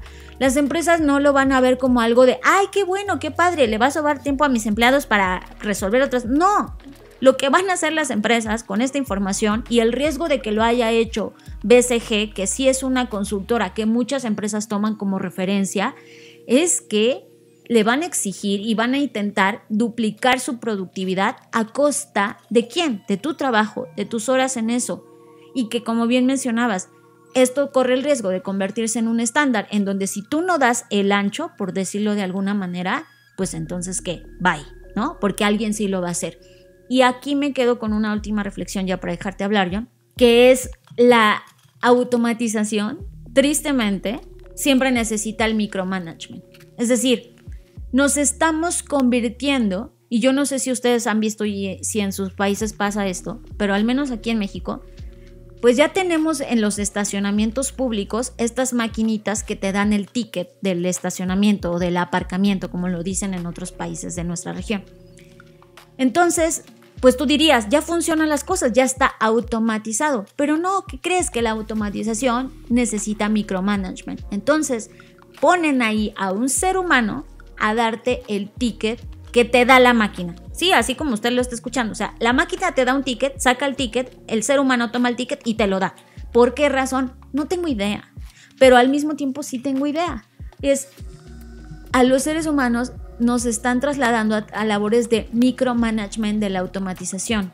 Es decir, hay un ser humano que ya no hace nada más que actuar como un robot y seguir unas instrucciones que es emulación de la máquina, que ese es el proceso de mecanomorfización que he estado hablando, es decir, así como nosotros antropomorfizamos a los robots y queremos que se parezcan a nosotros, asimismo hoy estamos sometiéndonos a un proceso de mecanomorfización, donde ahora con esta tecnología, en lugar de hacernos más brillantes y desarrollar mejores habilidades creativas o tener nuevas ideas y nuevos imaginarios que nunca antes habíamos logrado, lo único que estamos haciendo y que nos están haciendo las herramientas es transferirnos esa no sé, esa responsabilidad, por llamarla de alguna manera, donde ahora nuestro trabajo va a ser simplemente vigilar una máquina. Y eso no lo puedo permitir. O sea, eso, eso no cabe, eso no está en mi imaginario del futuro del trabajo. Yo no, yo no quiero un mundo donde los humanos seamos, pues, no voy a decir que sirvientes, pero vigías de la inteligencia artificial, cuando podríamos hacer mucho más con eso. Y por eso vengo acá a hablar de estos temas, porque es muy importante que nos estemos dando cuenta yo espero que tú que me estás escuchando y que estás usando inteligencia artificial hoy en día para tu trabajo, no te voy a juzgar que la uses, úsala, para a mí me da igual, pero espero que ese tiempo que te está ahorrando esa inteligencia artificial, lo estés usando para ti. Espero que en ese tiempo estés haciendo ejercicio, estés comiendo delicioso, estés durmiendo más. Pero si no es el caso, si tú ese tiempo lo estás usando para trabajar más, para autoexplotarte más, para exigirte más, para ser más productivo, entonces estamos teniendo un serio problema. Piénsalo. Me uno con, con tres resaltados importantes que dijiste, Fer. El primero, la palabra homogéneo. En el muy cortísimo plazo, eso no va a tardar ni media década, Fer, los resultados que dé la IA van a ser homogéneos. Es decir, al tener tantos datos y al tener la misma condición que tienen las compañías para tomar decisiones, que es dame dinero, los resultados van a ser idénticos en todas las compañías. Entonces, más allá de ver una, una, superación de lo que pensábamos industrialmente en las eras industriales, ahora va a ser hiper, hiperindustrial, hasta en términos intelectuales, porque la misma idea te la va a dar la misma máquina porque se homogenizó la cultura. Eso me lleva a la segunda. Chris Anderson en algún momento dijo, si no conoces Chris Anderson, googlealo y te vas a topar con cosas increíbles como que fue el director editorial de Wired o creó las TED Talks, entre muchísimas cosas. Dijo lo siguiente. La nueva abundancia crea la nueva escasez. Piénsalo. IA, abundancia, hiperproductividad, homogenización, humanos robots, sabios imbéciles o imbéciles sabios. Muchísimos, abundantes y no me refiero a la abundancia que crea una riqueza increíble, sino que va a haber mucho de eso. ¿Cuál es la nueva escasez? La creatividad humana. Piénsalo. Si no logras entender que la herramienta llamada IA es una herramienta para potenciar la creatividad humana y más bien estás sustituyendo y metiéndote más trabajo porque eres un robot, como dice Fer, la ecuación es mala y no te la están explicando. Con las compañías que hemos hablado, las que nos piden ideas de cómo la IA los hace más productivos, su objetivo es eso, productividad, explotación laboral, hacer más, porque la economía es hacer más, ¿no? Según ellos. Hacer más con menos, por supuesto. Exacto, con menos. Y cuando es menos es, puedo evitarme dos humanos por un algoritmo, lo van a hacer. No se van a tocar el corazón. Lo van a hacer porque en su Excel, donde dice cómo puede ser más económicamente viable, quitar un humano es más económicamente viable y no les importa, ¿vale? Ok. Bajo ese argumento, ¿qué estás haciendo como dice Fer? Fer, yo me paro en cada uno de los lugares donde académicamente estamos hablando de IA y jugando con IA y me da miedo, me da pavor ver los ojos de las personas que dicen, wow, ¡Ah! ¿qué se puede hacer esto con esto? Sí, sí se puede pero lamentablemente eso que se podía hacer está como poniendo una capa pesadísima encima del pensar, ¿sabes? Es como, oh, ¿le puedo pedir a la máquina que haga esto por mí? Sí, ya ni siquiera lo tengo que pensar. ¡Wow! Y lo hacen. Esa capa de pensar, esa capa de ser tú, esa capa de encontrar tu singularidad, esa capa de ser creativo, se está anulando algorítmicamente.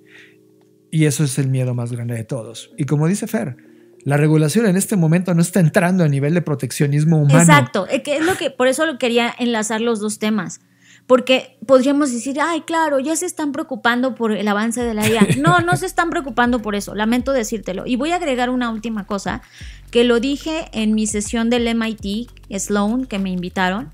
Y como todavía no se publica mi charla, eh, y esto no es un reclamo al MIT, sino que yo sé que esto lleva tiempo procesar, les voy a adelantar algo que está en esa charla lo que yo decía en esa charla es que en la página, en la última actualización que se hizo de ChatGPT, en la página de términos y condiciones de ChatGPT, advertía que una de sus grandes preocupaciones o de grandes consecuencias que ellos estaban viendo del uso, digamos que recurrente de la inteligencia artificial, en este caso de ChatGPT en particular, era que veían que el individuo podría dejar de pensar por sí mismo. Palabras más, palabras menos. Ahí en mi charla cuando salga se los voy a poner y les voy a poner el screen de, que no me lo estoy inventando yo. Está en la página de ChatGPT. Y yo decía, güey, o sea, nos están diciendo que ellos ya se dieron cuenta que ese es el mayor riesgo. Que entremos en un proceso de automatización en donde eh, ya no nos cuestionemos o ya, ya no razonemos, que esa es la parte más, para mí, más, que me causa más conflicto, que operemos de manera en piloto automático cuando usamos la inteligencia artificial y que básicamente nos quedemos dormidos al volante y no nos demos cuenta de lo que está pasando. O sea, ellos como dueños de la tecnología nos lo están diciendo. Claro, no lo dicen a voces como yo ahorita se los estoy casi que gritando a ustedes, pero está en su página. ¿Por qué? Porque cualquier cosa se lavan las manos de yo, yo, les dije. yo te dije. Entonces, si la, el dueño de la herramienta te está diciendo que lo más, o sea, neta, yo voy a agregar otras palabras, que lo más, eh, digamos que riesgoso de esta tecnología es que dejes de pensar por ti mismo, yo me preocuparía. O sea, tú dime si vas a entrar a un cine donde te digan, bueno, puedes ver la película, pero te, puede, esta película te puede dejar mal de la cabeza y ya no vas a poder pensar. ¿Entrarías a ver la película? Seguro sí, por morbo, no lo sé. Pero hoy en día nos están advirtiendo que este es un riesgo y que existe. Vemos en los resultados de BCG que nadie dijo que hay homogeneidad en los resultados. Yo les he dicho a las personas también a quienes doy clase, etcétera, que copiar prompts no te va a hacer un mejor ser humano. Nunca. ¿Te va a hacer más productivo? Sí. ¿Y te va a hacer más como un robot? Sí. El tema no es eso. Es como, insisto, tú puedes usar la inteligencia artificial para lo que quieras. Úsala para lo que quieras. Pero ojalá, de verdad lo deseo con todo mi corazón. Ojalá que ese tiempo que te estás ahorrando se lo estés dando a tu vida, a tu yo del futuro y estés preparándote para otras cosas. Porque si se lo estás, si antes trabajabas 10 horas y ahora trabajas 13, o si antes trabajabas 20 horas y ahora trabajas 24, es como, You lose in the game. ¿Sabes e-, esa imagen cuando ves el mundo de Wally, a los humanos que escapan del planeta y viven en esta nave buscando nuevamente un planeta Tierra donde vivir? Toda esa sociedad homogenizada que cambiaba de rojo o azul porque a nivel sistema era lo que había. Esa, esa sociedad creada algorítmicamente y dirigida algorítmicamente para su bienestar, pero engordándolos a lo bestia, donde no eran ni felices, ¿no? Que ese es el punto. O sea, hoy en día, no sé, buscamos prompts y buscamos respuestas en todos lados. Yo lo entiendo. E, es un mundo de mucha angustia, de mucha incertidumbre. Claro que si nos avientan una cosa que parece salvavidas, te vas a agarrar de ella. Me queda claro. Pero justo eso es lo que hay que cuestionar. Es, por eso yo les digo, yo ya me volví un mal pensante, yo ya busco, es como, a lo mejor está mal que tenga esta alerta de ver y buscar mierda en todos lados pero eso es lo que me permite desarrollar un instinto que me hace usar las herramientas. Yo no estoy diciendo que no las uso o me estoy haciendo la, la que yo vivo en una montaña donde no me conecto. Claro, si no existía la tecnología, y yo siempre lo he dicho, yo no estoy en contra de la tecnología. Lo que estoy en contra es en el uso inconsciente de la tecnología, en la programación inconsciente de la tecnología, en la falta de ética en la tecnología. O, la tesis con la cual se utiliza la tecnología, ¿no? Eh, exacto. Que en este caso las compañías se dan más dinero por encima de cualquier recurso. Hemos dicho que la palabra recurso humano está mal. No somos un recurso, ¿sabes? un recurso más. Sí, es como, ah, lo uso, lo exploto y lo tiro. No, espera, no somos un recurso, es, somos un concepto más. Y mientras no cambiemos esos conceptos. Sí, y mientras, sobre todo, Ah, ok, cambiar los conceptos por supuesto que importa porque las palabras nos definen, pero también mientras no nos cuestionemos. Voy a poner un último ejemplo y con esto quiero cerrar el tema. Hace unos días publiqué en mi LinkedIn que eh, pues era importante que en el evento que estamos haciendo y diseñando, que es el FBS, que ya viene para 2024, 28-29 de febrero, ya lo saben, pues es importante para mí que haya un balance entre las conferencistas y los conferencistas. Es decir, el interés del evento es que tengamos diferentes perspectivas de diferentes temas y diferentes futuros. Por lo tanto, por eso para mí es importante que haya un buen balance entre hombres y mujeres, no porque quiera cumplir ninguna cuota de género, ni mucho menos, pero simplemente me parece importante que si vamos a hablar del futuro, pues el futuro lo construyen hombres y mujeres, no nada más los hombres o no nada más las mujeres. Entonces, yo en mi LinkedIn publiqué que, pues si como había visto que la convocatoria que habíamos abierto para las mujeres que, usualmente invitamos, pues no había tenido respuesta, pues que yo les invitaba a que por favor, si ustedes eran una mujer que estaba interesada o conocían a alguien que pudiera estar interesada en dar alguno de los temas que se tratan en el evento, pues que me contactara. Bueno, estoy contando todo este contexto para llegar a una sola cosa. hubo una persona de la que por supuesto no voy a decir su nombre, no eso no es lo relevante, que cuando me mandó la respuesta de su propuesta, pues copió la respuesta de un chat GPT y me la mandó y no se dio cuenta que era una respuesta, o sea, ya no se dio cuenta que copió mal la respuesta. Y a mí, obviamente, no solo me decepcionó porque dije, oye, si te vas a postular algo, pues, no sé, lo que buscamos en un conferencista es la autenticidad y la singularidad de cada persona. Más allá de eso, y no desde el punto de vista de enjuiciar a la persona, sino la situación, me dio mucha tristeza que ya le estemos delegando esas tareas a la inteligencia artificial. O sea, lo que, decía hace un instante. sí. ya dejaron de pensar, solo están fabricando. Sí, de que si te vas a postular a algo, le pidas a ChatGPT que te presente, que se presente por ti y es no dejemos que eso pase. Yo no estoy diciendo que no te pueda ayudar a buscar trabajo, a, mejorar tu perfil en LinkedIn o a, a, mejorar tu currículum vitae, pero no dejes, de verdad, no dejes, porque eso me dio mucha tristeza. Más que coraje, ¿eh? no me dio ni coraje ni nada, ni, ni enjuicié a la persona. De verdad me sentí triste, porque dije, no es posible que dejemos que alguien usurpe nuestro lugar. O sea, ya, quizá lo que voy a decir es muy romántico, pero ya estar vivo, ya, güey, ya estar vivo y tener un cuerpo es, un pain. O sea, ya, y vamos a dejarle eso a alguien más, a una inteligencia artificial. Vaya, no, les, no se lo dejaría ni a una persona, ¿sabes? No, no, le diría a una persona, hazme una presentación y yo me voy a presentar con eso. Pues no, es como... Yo conozco directores de compañías que hacen eso. claro, sí, me queda claro. Pero ahora dejárselo a una inteligencia artificial me parece, de verdad, me parece ceder totalmente el control. Me parece decir, ¿sabes qué? Yo no, yo no puedo con esto, me rindo a Dios, ¿no? Claro. No dejemos que eso ocurra. De verdad, no, no hagamos que eso ocurra. Si estás usando inteligencia artificial, úsala, pero ten en cuenta todo esto que está pasando, todo esto que las propias plataformas nos están diciendo, todos los intereses que hay desenvueltos ahí y no apuesten por solo una cosa. Hemos visto muchas burbujas reventarse. Recuerden, recordemos la historia. Esto, al paso que va, suena a que va a tronar en cualquier momento. Entonces, no apuesten todo ahí. Yo veo personas que hace un, año ya eran expertas en metaverso y se metieron al metaverso y ahora son expertas en IA y se meten a dar cursos de IA. Y está bien, yo sé que buscamos las áreas de oportunidad para destacar y ganar dinero, me queda claro pero no nos dejemos llevar por la tendencia o por lo que está ocurriendo en el momento, porque hasta cuándo es sostenible, hasta cuándo es sostenible. Vas a vivir toda tu vida tratando de surfear las olas y subirte a todas las olas y no estás construyendo realmente un barco resiliente que te permita navegarlas. Híjole, qué, qué preocupante entonces, ¿no? Y esa es la reflexión que traigo hoy. Es la IA está y la podemos usar, pero no debemos dejar que nos usurpe y nos sustituya. Porque no es que la IA tenga maldad y diga, ja, voy a sustituir. No, nosotros mismos le estamos cediendo el paso.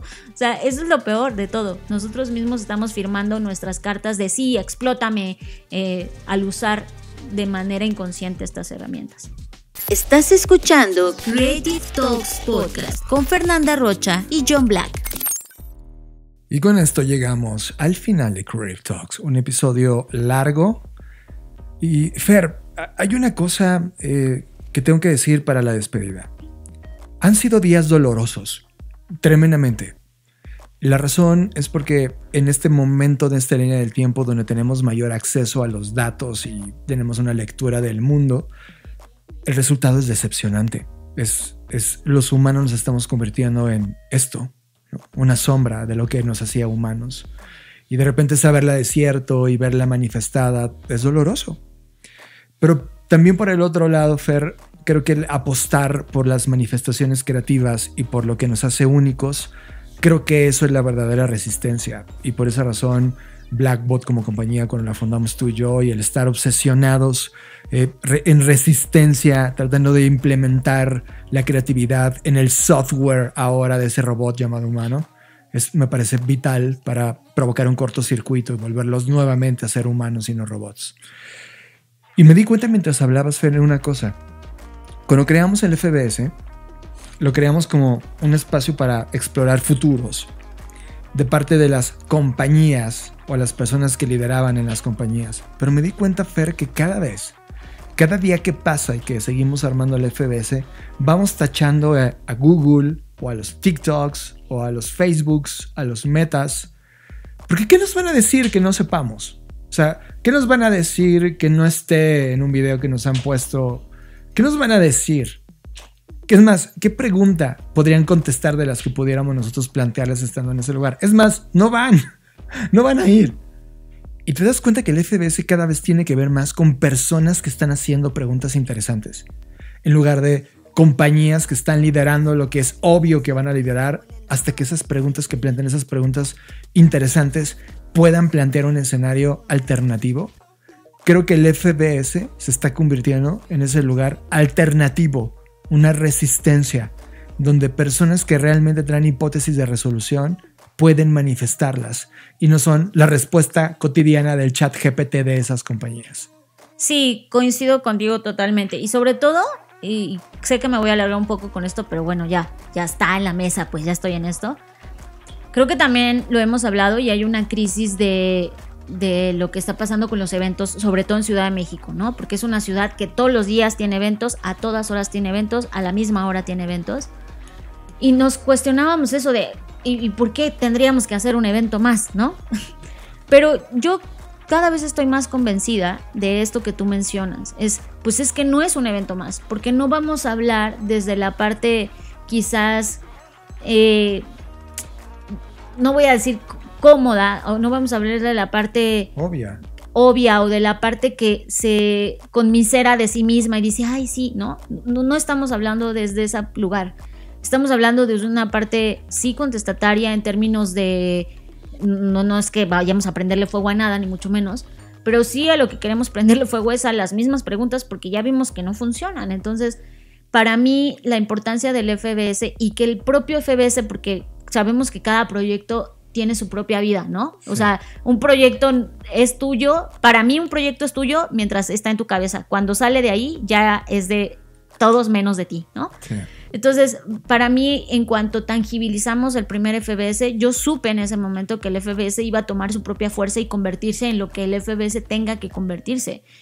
Por eso hoy estoy muy contenta con el lineup que traemos, que ya les estaremos contando. Está brutal porque además de sí cumplir con este tema que a mí me importaba mucho, que era diferentes perspectivas, también es gente que trae diferentes preguntas y eso para mí es muy importante. Y como tú dices, pues ¿qué le voy a preguntar a, no sé, a, alguien de Google? es como, claro que me va a decir las ventajas de la IA y, me va a decir lo que... Nunca te va a decir lo que él está pensando realmente. sí, exacto. Esa persona no me puede, porque además por, por temas de NDAs y términos de privacidad. Porque Google lo castiga y lo expulsa. Ajá, entonces Claro, entonces yo no quiero escuchar algo o no quiero llevarle a la audiencia, porque más que para mí es para, para la audiencia, no quiero sentar a la audiencia a escuchar algo que pudo, uno, haber escuchado en un podcast o haber escuchado en un YouTube o en algo más, sino que realmente lo que estás escuchando ahí sea alguien que sea algo, perdón, que si no hubiese sido, no hubieras escuchado en otro lugar más. Claro. Ahora, tampoco es que la estoy vendiendo de vamos a hablar de cosas que nadie más ha hablado. Por supuesto que no. Vamos a hablar de las cosas, pero no desde la perspectiva, que eso es lo que cambia. Y, por eso para mí es muy importante el FBS, porque sí desde mi impresión y desde lo que yo veo y como organizadora del evento, pues me doy cuenta que cada vez los eventos se han vuelto mucho más que hay una palabra. Condescendientes. Condescendientes, gracias. Complacientes. más complacientes consigo mismos, ¿no? Ah, traigamos al tiburón de esto y, y, y a decirnos qué bonito está la economía y qué bueno que siga así. Y es, no, no, o sea, digo, qué bueno que existan esos eventos y hay un montón, si que ustedes quieren ir y, van, qué bueno. Pero acá no van a encontrar eso, es lo que quiero decir. O sea, acá no, no nos vamos a, a, a, darle las palmadas unos a otros de lo bien que estamos haciendo. Al contrario, es, oigan, hay un montón de problemas qué ideas, qué soluciones, qué propuestas, qué proyectos hay o están existiendo que nos pueden ayudar a visualizar esto desde otra perspectiva y por lo tanto intentar hacer un cambio real. Sí, y eso fue un accidente, Fer, nos fue llevando poco a poco. Pues yo, yo creo que, pues, te lo digo, yo creo que más que un accidente ha sido como dejar que el proyecto tome su propia fuerza y dejar que el proyecto exista y haga lo que sea que tiene que hacer, que dure lo que tenga que durar y que cumpla el cometido que tenga que cumplir. De acuerdo y nos emocionan. Así que desde ya estamos en la recta, más bien no recta final, pero ya en la línea que nos está llevando a este evento FBS. Ya les diremos más próximamente. Yo creo que en un mes empezaremos realmente a comunicar lo que estamos preparando desde hace tantos meses atrás. Pero wow. Bueno, ya con esto llegamos al fin de Crave Talks. Yo quería dejar solo algo en la mesa como un bonus track. De todos los contenidos que hemos visto en esta línea del tiempo, Fer, no hay uno, mm, perdón, no hay uno que me haya provocado como para abrir la sección de New Media o nuevos medios o contenidos y hablar de eso. Pero hubo uno que estuvo cercano a retarnos intelectualmente y lo voy a poner en la mesa. Está en Netflix. Ah, ya sé. Se llama, Hablando de la coreanización. Exacto. Se llama El Plan del Diablo. El plan del diablo. Ay, mi hijo, no voy a hacer esos contenidos. No tiene nada que ver con Satanás ni con el diablo. Solo le pusieron ese nombre porque lo que ocurre adentro es, es, es villanesco. Pero sientan a un grupo de personas, cada una persona brillante, excepto una en particular, que solo se dedica como a la farándula, ¿no? Pero todos los demás son brillantes. No, pero incluso quien se dedica a la farándula, porque además, o- o no sé si esto sea, porque desconozco esta parte de la cultura coreana, pero algo importante es que no importa si eres presentador de televisión, tienen doctorados, o sea, la gente Sí. está muy bien preparada en, en términos académicos. Es- han sido asesores políticos, abogados eh, internacionales, eh, gente que, que- que realmente cuando ves su currícula, cuando se presentan, Dices, güey, ¿qué, ¿qué he hecho yo de mi vida? ahí te das cuenta que si este es el status quo de Surcorea, estamos muy mal como país. ¿no? Es- pero lo que ocurre en los episodios son una serie de retos que tienen que resolver, donde no son retos de, oh, como no sé, mil mexicanos dijeron, ¿no? Que son tonterías y Si es pendejadas. mexicano. Sí me entiendes el punto. O sea, no son pendejadas. Son verdaderos retos de wow, hay que resolver esto con números, hay que resolver esto con asociación, hay que resolver esto Es con como un poco la- los escape rooms, quien ha entrado o jugado sí. en un escape room, que te ponen retos que, que realmente justo te retan, pero acá es un nivel elevadísimo de retos, problemas Sí. matemáticos, o sea, problemas reales, problemas, reales. Problemas excelentes. Que sumados a todo la- el, el tema de convivencia humana, porque Sí, están de- de encerrados. Big Brother. Sí, es un Big Brother de alguien que piensa, es como un Big Brother intelectual, ¿no? Me encantó. O sea, eh, si bien, como te lo digo, no fue un contenido como que, por eso no hemos hablado de contenidos, ¿no? realmente estamos como cansados, Fer, de, de que no hay esto nuevo en contenidos. Este en particular, que se llama El Plan del Diablo, repito, El Plan del Diablo disponible en Netflix. En verdad, puede, puede retarte. Es más, se la voy a recomendar a Luis Armando Jiménez Bravo ahorita en un WhatsApp porque siempre nos compartimos cosas. Y él va a estar feliz porque ama a Sur Corea, entonces le va a encantar. Si no lo, haces, vis- si no lo has visto, ve uno o dos episodios. Te va a reventar la cabeza y te va a poner en un lugar interesante. Bueno, pues ahí está. Muchas gracias por llegar hasta acá. Y como siempre, nos vemos, nos vemos, nos vemos en el futuro. Escuchaste Creative Talks Podcast con Fernanda Rocha y John Black, un podcast de Black Creative Intelligence, presentado por Blackbot, Black School y Black Bull. Nos vemos en el futuro. Black Creative Intelligence presentó Cada cuatro años, La línea del espacio-tiempo se rompe para reunir a las mentes más innovadoras, y explorar. Los futuros. FBS 2024.